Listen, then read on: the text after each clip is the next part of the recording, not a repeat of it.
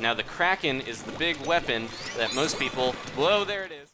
Hey guys, it's Adam aka Swimming Bird, and welcome to Splatoon. There is a ton of news to cover, with a new date finally set for Splatfest, and a major balance patch coming out very soon that should please players that fear the Kraken. Now, Japan already had their first Splatfest, Rice vs. Bread. Rice was victorious, but during that, the developers discovered that there were some major matchmaking issues, so they had to delay the other Splatfests. But with this new patch coming out in a few days, everything should be fixed, and I'll go into details about that in a minute here. Now, both the North American Cats vs. Dogs and the European Rock vs. Pop Splatfest will be on the same day, July 4th, starting at 12 a.m. Pacific for North America or 3 a.m. Eastern, and a little later in Europe at 1800 British summertime or 6 p.m. in the evening. These will run for 24 hours. Now, what is Splatfest, if you're wondering? It's this huge party in Inkopolis. You get to choose one of two sides to try to earn points in Turf Wars for your team and win Super Sea Snails, which are very useful. They expand the slots of your gear and allow you to reshuffle abilities with Spyke over there in the alleyway. So you want to get as many as you can, but we are going to try to do that despite the big octopus in the room. July 4th is Independence Day in North America, so despite most people being off work or school, it is a major holiday to spend with family. So a lot of us are probably going to want to, you know, watch real fireworks with the people we care about instead of, you know, watching fake fireworks during Splatfest, even though it should be really cool. Now, despite that, I'm going to keep my promise to you guys. I will be streaming Splatfest starting at 3 a.m. on July 4th, and I will do as much as I can. Now, if you can't make Splatfest, if you're not crazy enough to stay up that late or, you know, you're going to spend time with family, don't worry. There will be a video version that will go up, so you, get, you can feel like you have seen it, and you know what's going to happen, everything, just by seeing how I do and hopefully I will earn as many Super Sea Snails as I can. There's only five ranks, and it only takes about 40 to 60 wins to get all five ranks, so you don't have to play that long, but it is a little unfortunate with the timing. I've seen a lot of people complain, but it seems like they're sticking to it. We've got only about a week here until that happens, but I'm still excited to stream and excited to compete. Now, Splatfests are based on both team popularity and the percentage of matches won. But the win percentage is worth double, so even if you say Dogs has less less members than Cats competing, if we win more, we'll still win. And I'm going to be on Team Dogs. No offense to Team Cats, but I'm going to stick with Dogs, and uh, hopefully we will prevail. I love Cats as well. I love you, Judd. There we go. All right, so I'm going to jump into some battles here while I talk about the patch. So a few days before Splatfest, on July 1st, we're getting Splatoon version 1.3.0, the new update, and it mainly has fixes for Splatfest, but it has some special weapon and gear balances that'll probably please a lot of players that are not big fans of some of the overpowered abilities and uh, special abilities. So I'll get into that in a second. But the main point is to fix Splatfest issues. So the team that wins Splatfest will get double their Super Sea Snails, but they wanted to encourage people to play and try to get as many as they can, even if they don't think they're going to win or uh, have as much luck doing that. Whoa, jeez, that was close. so yeah, they, they added some new features, and the big issue, I think, was just that if you were matched up, or you were on a team that had more people competing on it, like Rice versus Bread, there were way more Rice players, it seemed like. So it was a little unfortunate that the Rice players could not always find matches to compete in.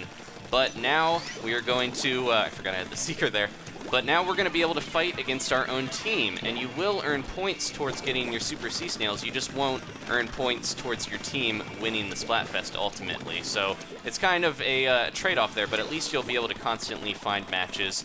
And even if your team loses, as long as you get fourth or fifth rank, you'll get a few extra than normal. It should be very easy to get a lot of Super Sea Snails, honestly, because even if you just log on and uh, play a little bit, you don't have to get any experience to get two right off the bat, so that's kind of nice. And you can get 12 or more depending on how you do there. Whoop, I missed him. There we go. Just rain the ink down. See if I can ink Zuka a little bit here. Gotta be careful when I'm on a tower to uh, not get knocked off with this because it does have a bit of knockback. There's, I don't know what they were doing, but here we go. Here's a little tip. Jump and throw your Seeker when you're on this, and you can hit people all the way over there, but I don't want to do that too much. I'm going to make sure I got enough ink here. Oh, I fell off. That's all right. I'm using the Aerospray MG with the Seekers, so I get to uh, kind of stand back and do that. Will that work? Oh, missed him. I'll try to get enough here to get that roller right there. It's gonna go right over his head. He's gonna try to jump up here again, but that didn't work again. I don't know what that one guy's doing down there. He's just kinda, maybe that one will hit him. Almost. He's just kinda hanging out right there. I can't quite get him from this range, but I'm gonna try to get over and throw. It seems like he's just like being fodder for other people to run in and then they uh, they get shot by the uh, the other player on his team. He's like distracting other players. But yeah, so it should be good. Even if you can only play a little bit of the Splatfest, it'll be easy to earn those Super Sea snails and uh, not have to worry too much about not getting into matches. He's got his Kraken, I think, but if I hurry, I might be able to jump and uh, one of those. Oh, missed him. He's hiding down there. Man, trying to get as much ink as he can, but he's having kind of a tough time getting over. Throw one down there to cover his trail a little bit. Somebody's on their way over. I see you over there. Trying to get up. Only have a few seconds. Might as well just jump right in and uh, splat him up. Go, go, go. Get as much of this as I can up the wall, and there we go. Yeah, we they might have lost a player or something because I think we were just trouncing them. Man, the roller got into our base area, but still, geez, 70%. Let's see how we did. And I'll get into the notes about all the special weapons and gear and all those changes. There we go. Almost top of the team. Eight kills, or splats, and zero deaths. Not too shabby. Okay, so let's get into the nerfs to special weapons and gear. Now, the developers decided instead of buffing some abilities, they've nerfed some of the most popular specials and gear abilities. And this is a little controversial, but I think their idea is they want the abilities to be something that gives you a little bit of an advantage, but not too much, so that even if you don't have maxed out gear with all the best abilities or whatever you decide that is, you can still compete and you're not going to have a crazy advantage over any other player. Also, I think they want you to be able to use whatever fashion you want and not be too concerned about gear abilities. So I think that's why they did these changes. Now, the first change, not really negative actually, a special weapon change to ink strikes. It had some inconsistencies about where it would lay down ink, especially I think on the splat zones here for Kelp Dome. We're on the perfect map to showcase this.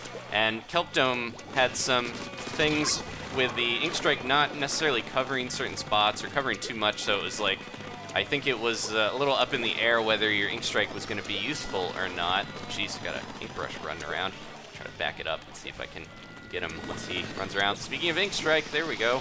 Look out, there's a brush over there. If I can track him, man, they're so fast. They're definitely tough to keep up with. There he is. She. Let's see if we can get him. Haha. Can't escape my seeker. it's really going after him. Somebody trailing behind me. I think I can get that ink brush if I follow him in. Here we go. Just gotta be careful. There's guys like above. There's guys below. They're all over the place. I've got my Inkzooka. Try to use that here. See if I can get it going and get the middle area because I think that's where they were hiding. Somewhere. There we go. I saw him. I sees him. There we are. All right.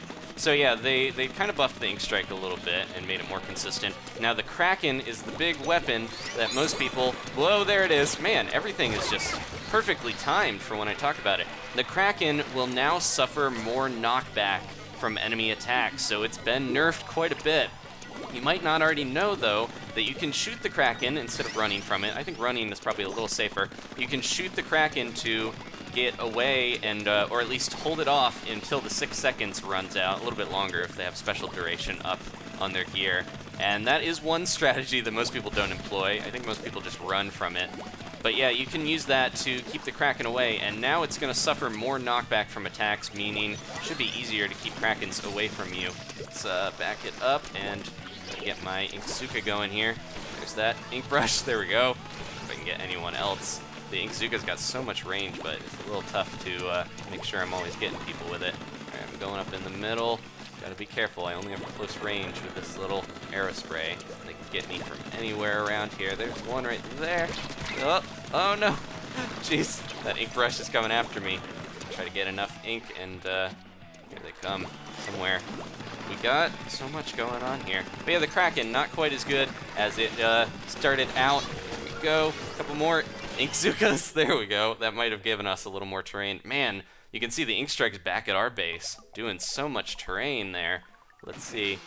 Oh man, we lost it. I think, yeah, that's that's probably what they changed. Look how much more terrain the Ink Strikes seem to do on this map. It's a little weird. I got 941.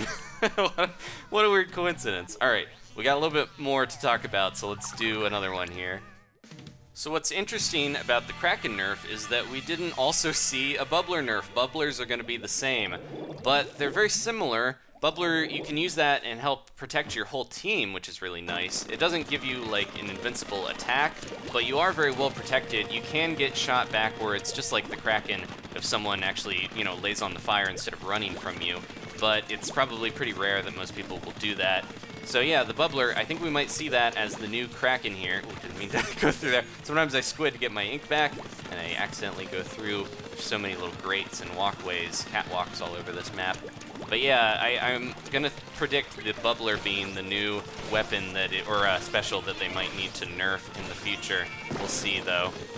So that's it for the special weapon changes. The gear changes, both uh, both abilities I have on my shirt and my shoes are getting nerfed a bit. So Ninja Squid, you're gonna move even slower using Ninja Squid than you do already, but that can be offset with swim speed up. So you can kind of, you know, play off that. Ninja Squid is such a good ability because you can just, you know, hide. That's the best way to get away from a Kraken, I feel like, is not trying to shoot it necessarily, but just going into a good spot and, uh, and just hiding, and then you can sneak up behind them and, uh, ooh, okay, jeez, get ink striked. But you can sneak up behind them pretty easily if you just Ninja Squid, and then as soon as they turn out of the Kraken, you can get them that way.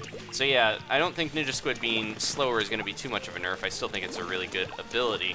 Now, Stealth Super Jump is another popular one that you can only get on shoes. Ninja Squid is for your uh, your shirt. Jeez, did that sprinkler there. Just trying to make sure it wasn't a person for a second. Back up, my friend. I'm to send this in. Maybe that'll take out the...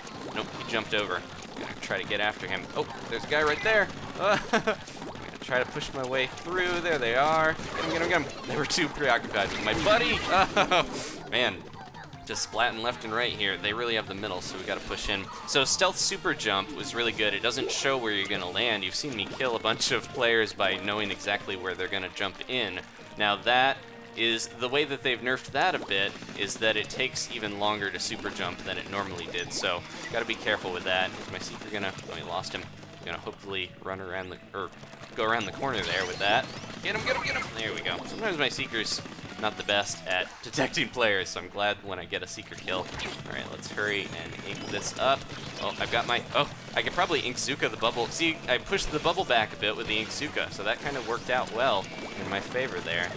Right around the corner. Oh, I think I saw someone over here. Might have disappeared into the ink. So yeah, stealth super jump, that's not one that I use. I use ink resistance up. And uh, the thing with that is that has been nerfed as well a bit. You don't get as many benefits. Normally you can kind of like squid normally through enemy ink and just kind of have a have a pretty easy time doing anything in enemy ink. You don't walk as slow. Let me do it right at the end here so you guys can see. I'm just kind of squidding through it and uh, somebody inked it right at the end. But yeah, you don't you are really limited normally without that ability when you're in enemy ink and you take damage, but you don't take as much with that. So they made its effectiveness with damage and movement speed reduced a bit. So I think it'll still be good, it's just not quite as good. And in the long run, I think making players have more choice in abilities and not feel like they have to use certain ones to compete is better. Thank you guys for watching that's all the patch notes. Not really anything else other than they, they have fixed some content for more pleasant gaming, which is a very nebulous Nintendo term, but kind of like the Smash Brothers patches, they say that, but I, I, they've given us a lot of details on this, which is nice compared to most Nintendo things. So I'm glad that they let us know all of these changes. I'm excited for the balance changes, and of course for Splatfest. Definitely check it out if you can, and we'll keep having more Splatoon content as long as you guys are enjoying it. Let me know that you are if you want to leave a thumbs up or a like. I definitely appreciate it, and I'll see you guys next time.